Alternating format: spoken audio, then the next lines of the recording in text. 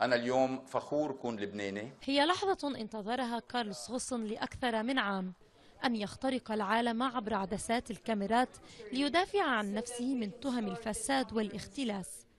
شركة نيسان التي انتشلها من الإفلاس كانت الحاضرة الغائب في مؤتمر صحفي رفض غصن خلاله الإفصاح عن كيفية فراره من إقامته الجبرية. I was غادرت اليابان لأدافع عن نفسي بعد أن سلخوني عن عائلتي وحياتي بطريقة وحشية. لا أساس للتهم الموجهة ضدي.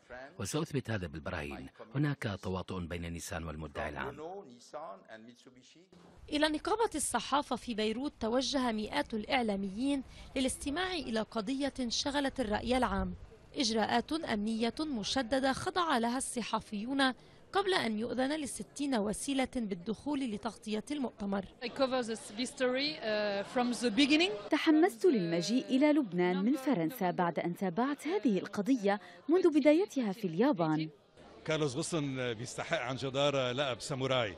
والساموراي هو آه، الإنسان اللي بيباطح اللي بيناضل من أجل البقاء على قيد الحياة ومن أجل تنظيف سمعته. بين مؤيد ومعارض انقسم اللبنانيون.